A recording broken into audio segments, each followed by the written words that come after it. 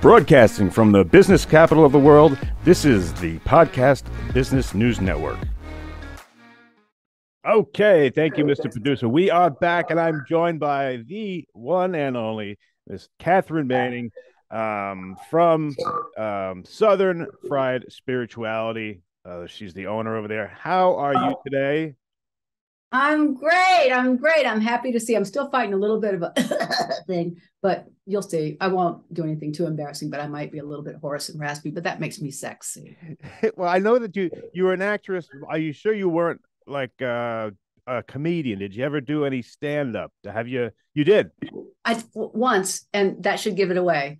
I was terrible at it. I, I well, they had this audition once because I lived in New York for 20 years that Catch a Rising Star. Actually, I did it twice and the first time I was so good. And everybody was, yay! And they stood up, and I had this wonderful and experience. And then the second time I bombed. I bombed. I mean, it was so embarrassing. It was just, you know, I mean, I can't even tell you what it's like to stand up and nobody laughs. It's hard. So, wait, that was funny. But that was the same experience I had when I moved to Southern California to LA because I'm so funny and I speak so quickly and I'd say, blah, and they'd be like, beat, beat, beat and they looked at me like I farted or something. It's like, oh, come on. I mean, it's not, this is funny, but I think it's too much sunlight here. There's too much that goes in the top of the head, but um, it's not as quick and verbal. You, so, you know, usually the, the Southern, they, they say is uh, is a little bit slower, but uh, yeah, you, you are yeah. right out of the gate. Uh, well, I'm grew and I grew up in the South. I've just never been placed anywhere. But the thing is, my mind goes real fast, and I speak what there's no, as my husband used to say, ain't no filtration. No filter. no filter. He said that too because he was from Long Island. But I um, but yeah, and that's it. And so moving here was, well, what am I going to do? I can't. They said, well, let your New York scrub off, and I said, what the f? And I still cursed way too much, but it's my charm. Yeah, yeah, and um, if if you can, before we get into because there's something that's really interesting, I want to talk uh, about this this energy protocol uh, almost like it's a workshop, almost like a, a boot camp, because you've done workshops before. You've had people come in and um, uh, you've taken them through. How long have they lasted in the past? Well, I, I, I did them. I used to do workshops like every six weeks, and um, they they were fantastic. I did them all on a variety of, of subjects. I'm interested in so much, and I've trained in so much. Yeah. And, um, then COVID happened, and I haven't really done too many except on Zoom. But one of the things I was developing with my former husband, who was a corporate executive, a, law, a lawyer in a in a law firm, a partner, is I we were going to go into and he he was the one he ran interference and he got me the work and I just did all the work work once the work work happened. Um, I would teach what I knew because I use I don't teach anything I don't do. I just won't. I mean, so my being, my body is my petri dish. So if I something I'm teaching it, you're gonna I do it, right. and I'm for the pudding because I I don't know. I just I get I've, all my life I've gotten sick a lot. I just get sick, but it, I don't think like, oh God, I'm sick. I just get well, and sometimes I don't mind being sick because I get a break and I get to lay in bed and watch TV. So that it doesn't bother me. I don't think good, bad, yes, yin yang, black, white. I don't think like that. It's just I'll get well. I, I go to doctors. I don't see a difference between Western and Eastern medicine. I think that's all a crock everything is God. Everything's the same. So I take a pill, it's God. If I take a herb, it's God. It doesn't matter to me. I'll get well. So I teach all. I don't. I don't teach medicine, although I was once reported for prescribing medicine without a license. oh. Well, I, well I, I, did it. I mean, I, I, I gave one of my samples of of antidepressants that somebody had given me in my office. I gave it to somebody. She reported me. I went in front of the judge, and he goes, "Did you do that?" I said, "Yes." And he went, "You just told the truth." I said, well, I did it. And he said, hmm, don't ever do it again. Nice. Yeah. Well, what, what I was going to do? Lie? I, I did it, but I did it. I did. I gave it to her. And I didn't say responsibility like that. It's awesome. Well, know, he, okay, well, I did it. And it didn't have my name on it or anything. And he said, don't do it again, but thank you for telling the truth. And he t- looked at the courtroom. He went, did you hear that? You- that woman told the truth. Yeah, but like, what? Good God, that was that was that was easy you know, I lied more during my divorce divorce trial, which which everybody lies, and that's what the judge said to do. I swear to God, she said to. But anyway, which is really troubling. But I think um. So here it is. Okay, cracking me up. Okay, I love that. I, thanks for laughing. I like it when people laugh. I think the most direct path to God is laughter. because if you can't laugh, what? And there are people who are simply morose. And it's like, get out of my sight, man, because nobody's had some harder times than me. Let me tell you, I may laugh a lot, but oh, boo hoo hoo, I could really make, I could make you cry. If you wanted to. I can, but I'm not going to make. I don't Right. want. Right. Don't- You'd, you'd rather be happy. You'd rather be. Uh, Yeah, but it's not just that. I really am happy. It's not because I'm faking it. It's like just get over yourself. Everybody has woes. Uh, uh you know, Saint. I'm gonna. I'm a segue, but I, I remember. Life. I'm going to answer your question. Saint John of the Cross is a wonderful Christian mystic, and he was imprisoned during the Spanish Inquisition for two years, and he they they tortured him. He was in a under a latrine. He couldn't lie down. He couldn't sit up, and he couldn't stand up. And that's hell. Can you? I don't can't. I can't imagine that agony. That scares the hell out of me. Yeah. Well, he developed, yes. And he developed, he coined the term dark night of the soul because he was in consistent, perpetual agony. He couldn't die, he couldn't live. And he popped into bliss because sometimes when suffering is so big, so intolerable, we turn, we pop to its opposite. Now, this is an extreme example, but I can tell you that having gone through two serious dark nights of the soul, it is a time to really study the energetic play of opposites and look into the fact that this is so intolerable. Don't quit before the miracle because it um it always happens, and it always happens for the best. And I I said the other last week, I don't have any beliefs, but I do. I believe that this is a benevolent universe. I believe that things happen for the best, not necessarily predetermined, because I don't know quite understand how that fits into what I just said, but it, it could. You could interpret it that way. But it just seems to be that things keep getting better and better and better. Now, that doesn't mean I'm getting more and more and more money, because I mean, I know it's easy to love God when the kids are okay, there's money in the bank, the relationship is great, my health is pristine. That's, yeah, boo, rock. But it's it has to be the same when my health is failing, when the relationship sucks, and I got a divorce after 24 years. I wasn't my idea. but it, but you know, or the kids are, you know, I mean, one of my daughters developed a fatal cancer. I mean, this is serious. And it had to be the same because it is the same. And you can look back and find where it was true that it was better. Now, that takes a lot of courage, but we have to be spiritual warriors. If that's one thing, that's not necessarily boot camp the first day because people would leave in droves. So, what I t- what I teach Can I, is can I just clear up on one thing? yeah, What- what- ask you what you you said. Uh, no matter how bad it gets, there's if you wait to the end of the movie, kind of, um, it's going to be worth it. Is that what you say? it's to going to anybody? be worth it no matter what. It's you're going. It's going to show you that things always happen for the best. So don't quit before the miracle because it's going to happen and quit whining. So I decided if I ever do a TV show, it's going to be called Quit Whining, Start Winning. like it. Sounds so stupid, but I swear, shut up already, everybody. Shut up. I don't want to hear about your problems. Listen to me. I'm a psychotherapist. No. I just thought about that. like I developed a pro I can I can listen like run, running a track, you know, like you know, listen, look like I'm listening and I'm going ketchup, toilet paper. I swear to God. oh, Any- anybody in therapy? It's And it's really because I mean people it's really like, oh please. and I know as I said before, I don't suffer fools. So if you're gonna do that over and over again, I'm gonna say shut up. And now what? Yeah, now what? Now move on. And what? right that- now. What Rather leave or they stay, but they usually stay. Uh, they almost always stay because is they don't true? you yeah they don't want to keep doing that shit okay so here's what i do i say so my father took a walk every day and i we all knew that he, he just did and i think it's because he was an aristocratic southern gentleman and they I, he didn't have a manner but they we he walked they all walked the manner they were gentlemen they walked so i watched him and he walked now he stayed incredibly healthy into, into his 90s and one day after he had his ice cream at dinner he put his head down and died see that is health to me that's like that was thoughtful Thanks, Daddy. You didn't make us all go crazy and suffer. You just went, darling, this ice cream's delicious. Bonk. Swear. That's a great death and a great life. Yeah. That is, and he never, he never said an unkind word. He was not negative, and I never heard him curse, and he never heard me curse. That's it. I know. Well, everybody else has, but I didn't do it around him because I just adored him. And so a good guy.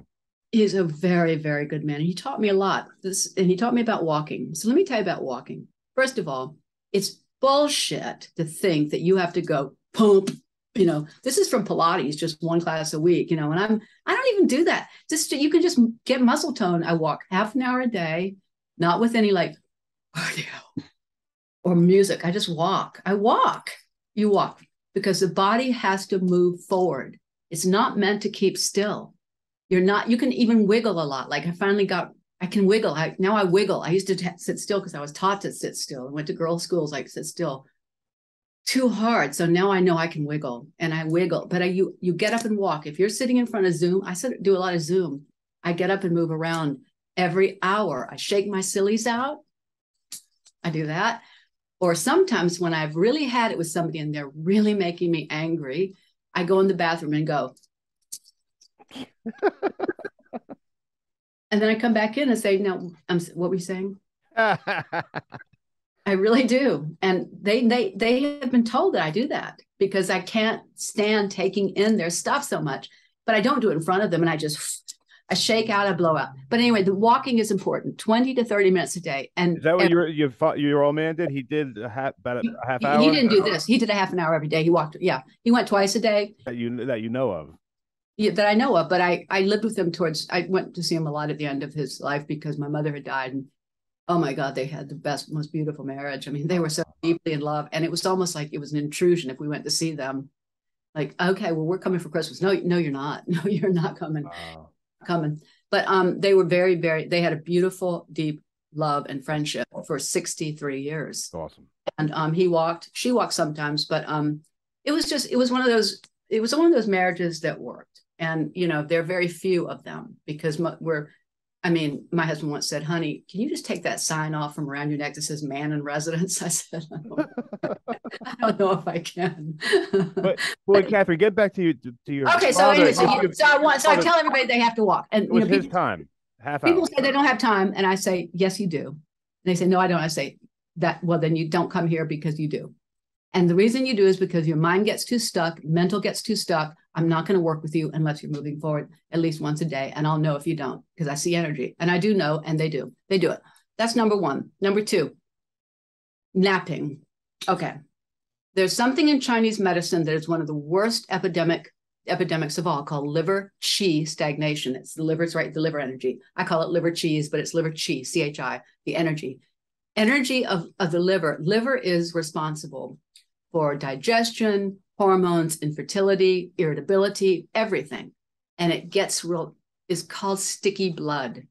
And it's there's a lot, we we we just give medicine in Western medicine for um, like blood thinners and everything, but it's a real condition. It's an acidic condition, and it makes us icky and cranky and mucousy and phlegmy and all these things. But it's just this this energy right right here, right here, and we just can go. It needs to it needs to nap we need to nap for 20 minutes, but not sleep. Now, listen, not sleep, but 20 minutes a day between the hours of 3 and 5.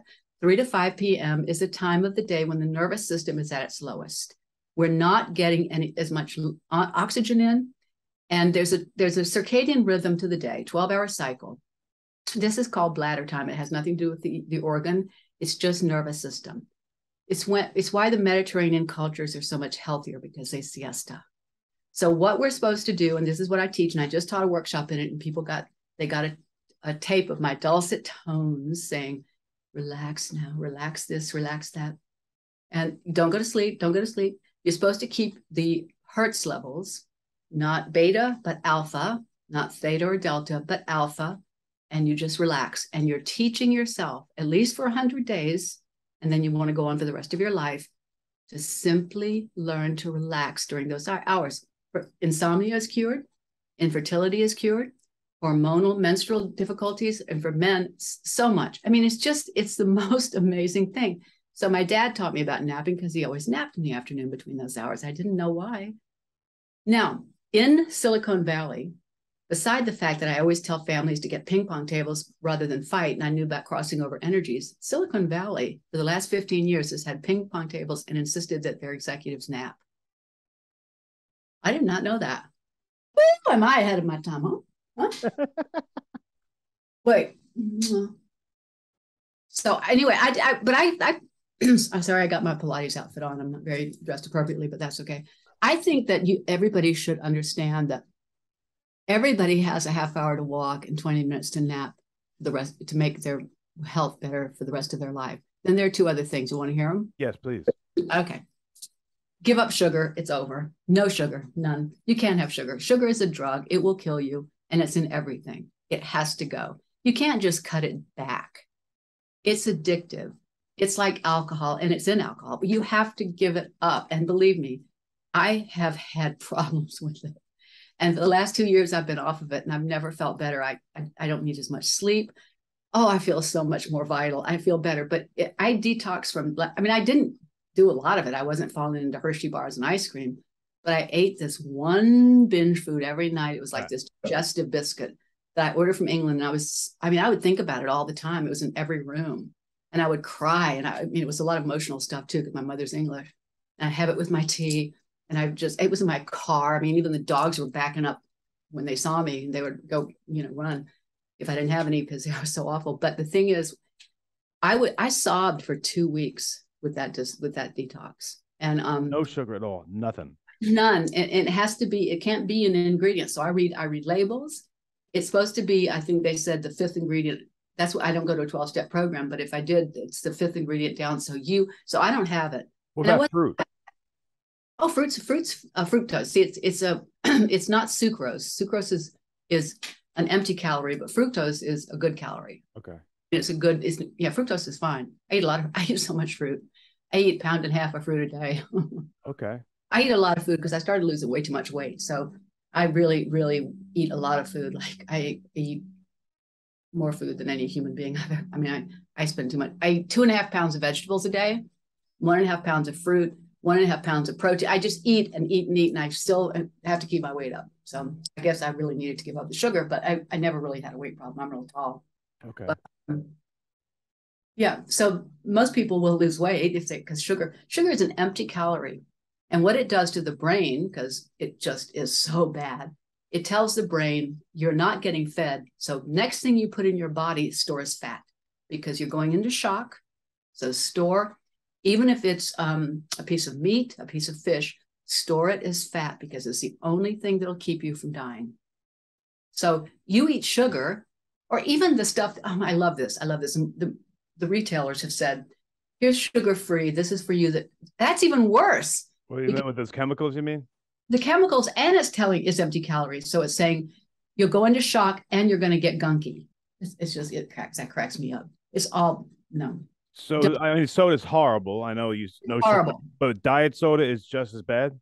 Well, diet soda that'll rot your bones. That's phenylalanine, so that'll make your brain demented. And um, I drink. I used to drink a little bit of that, but I, I notice because I'm sensitive now. If I have a diet coke, which I really like them, I can't think of my words the next day. I just can't, I can't find my words. Now I have problems with that anyway, because I talk so fast, but I mean, I've had that for a long time and I'm kind of old, but not that old. But the thing is, if I have a diet soda or too much of that stuff with, with chemicals in it, the next day I go, um, I know your name. Don't tell me. I know your name. It starts with a K, but mm, mm, mm, I don't know. And oh.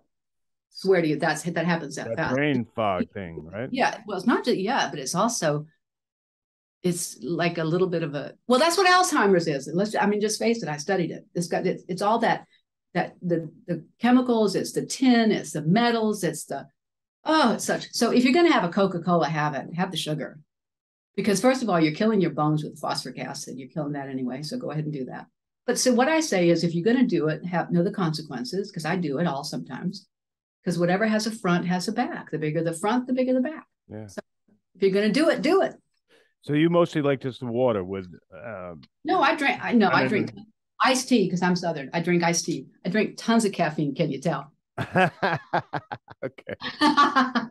so much black tea, iced tea.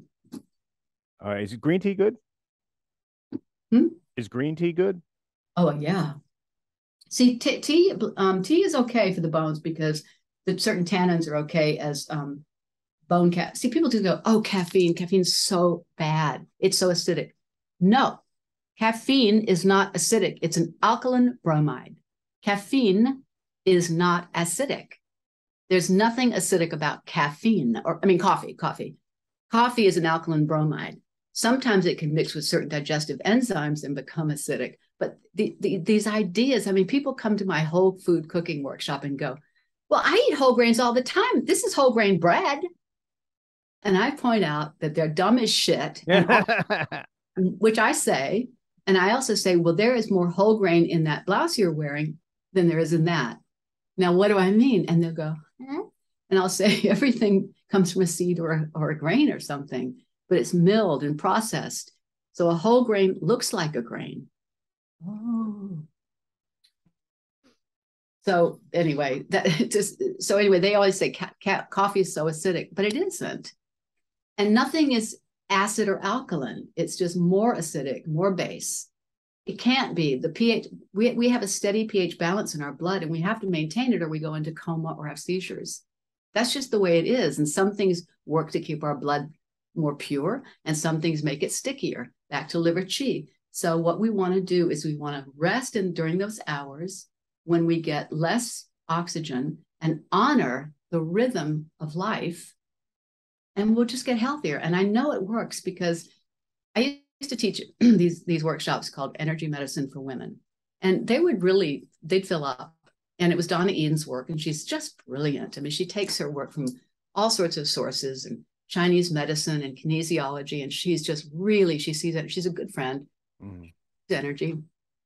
And in this energy medicine for women, this one woman came and she was really difficult. She'd been infertile for 15 years and she said, I don't think anything's going to work. I said, okay, whatever. But you can come and just learn a couple of protocols. And, you know, she said, well, whatever. And she didn't show up for some of them. And I was teaching the 100 day cure. And what the 100 day cure is in, in um, old Chinese medicine, for 100 days, you rest for 20 minutes during the hours of three to five. And it's to cure all ills. And I said, What have you got to lose? She said, I've tried everything. I said, Well, then try this. And I don't want to hear about it anymore until you've tried it. She tried it. She has two children. Nice. Wow. Yeah. That's brilliant. So so it's it's walking, it's uh no sugar, it's from three to five, 20 minutes. And there's two more. Fourth. Oh, two more. Okay. There's, there's, two, there's two more. We're not meant to suck off the tit of another animal, and we're not meant. That means we're not meant to have dairy products. We're not supposed to have dairy because cow's milk is meant to grow a two-ton calf.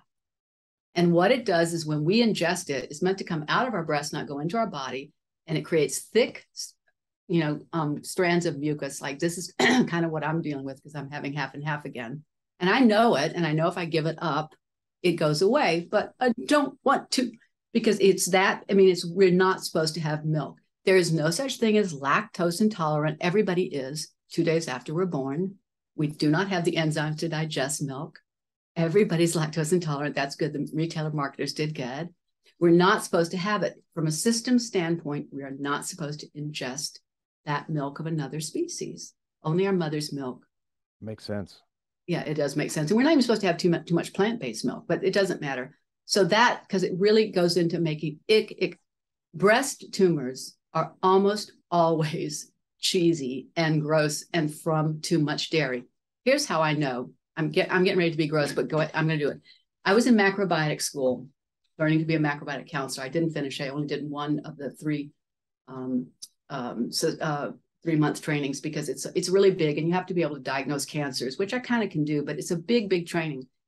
Well, there's a woman, and you learn to do all sorts of healing, nat- natural healings for cancers. And she had a big breast tumor about about that big, you know, and she was from Wisconsin. Well, I already knew she she knew too there was going to be because she had too much dairy as a child. Wow. So you make a plaster from taro potatoes. They're these really rough potatoes. You peel them and you make this plaster with with flour and you put it on your breast every day.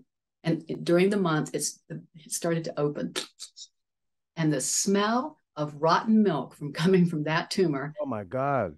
Yeah, well, it was cheese, and it was, and eventually came out. And she's she's well. Oh, good. Oh, thank God. But wow. well, go of course. I wasn't going to tell you a bad story, but no, she if she'd gotten it cut out, it just would have come back, and she she didn't change her diet, so she changed her diet. The skin opened, the tumor came out. It was horrible. I mean, you couldn't be around her in the same room during this time. I mean, she was. It was. It took about two weeks for it to come. Ugh, ugh. you had to keep changing the plaster. Wow. But I started that because when I was 40 years old, there was a big, big tumor on my ovary. My grandmother had died of ovarian cancer when I was when she was 40. And I was pretty sure intuitively that I had cancer, and so was the doctor. But I didn't let it get biopsied. I was very, very um, different. I wouldn't even take an aspirin. I had a cesarean section. I wouldn't even take pain pills. I was really wow. Really not do that again. I don't recommend it. I was stupid. That was stupid. It took a long time to get better. But anyway, so I I was uh, staying up in my our our country house in the Berkshire Mountains of Massachusetts near the Kushi Institute. We had a place in Manhattan, and I was taking care of my baby, but I was I was exhausted. I, there was something so wrong with me, and I saw this met this woman down in a health food market because it's very you know hippy dippy up there, and it was it was wonderful. Was, this is 1988, and I I no I wasn't 40 then, but anyway, this was I don't know what it was. I'm not that old, but but the but the point is is that I was sick, and this woman said my husband had a brain tumor and we healed it through macrobiotics. I said, I want to learn it. She came to my home that night with all this cookware and I started to cook macrobiotically. And with six weeks, I discharged that tumor vaginally. I did, it got rid of it. Now I wish I had collected it, but it went down the drain too fast. But the thing is, it I healed. We I was healed, and I've done it with, over and over with people. And it's just the body doesn't want to have this stuff. It usually gets rid of it through the through through somewhere where it can discharge it through yeah. the anus or the breast or the penis or something. Right. It gets rid if you do it naturally. And and it worked. And I stayed on this kind of wonderful regime for five years, and I've never known health like that. Wow. Ever. Ever. That's something.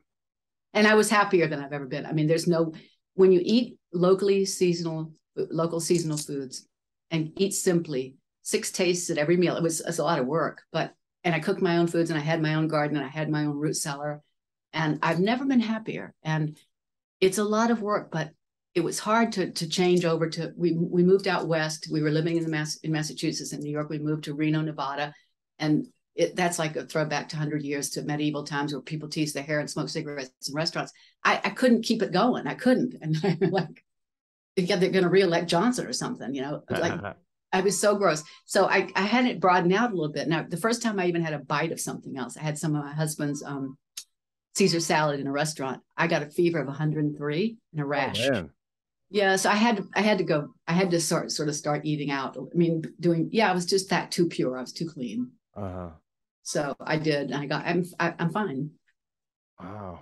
It's a hey, pretty, what? Yeah, uh, Katharine, we're gonna have to uh, save that last one uh, for for next time because we're out of time here. But wow, uh, it goes Sorry. quick. It goes quick.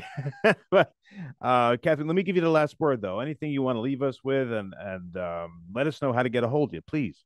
Okay, southernfriedspirituality.com. Sorry, I was so yacky because I, I, but I just want to say, walk twenty minutes, thirty minutes rest 20 minutes. That's what the takeaway is. And next time we'll go over the energy medicine protocol. I'm sorry I yak so much, but I really do have four things that are so much fun and easy to remember. And I do have them on my website, Southern Fried Spirituality, and in the YouTube um, videos. Awesome. All right, guys. Hey, that's the one and only uh, Katharine Manning. Uh, love your show. I love uh, uh, Love your take on things. So refreshing. Thank you. Thank right, you. Guys, Thanks we'll be right back. Are you looking for even more of the podcasts and hosts that you love? The Podcast Business News Network is proud to announce that you can now listen live on the MyTuner Radio and online Radio Box apps for iOS, Android, and the Amazon App Store or check us out online. Search for Business News Network on mytuner-radio.com or search Podcast Business News Network on onlineradiobox.com slash US so you don't miss a minute of the action.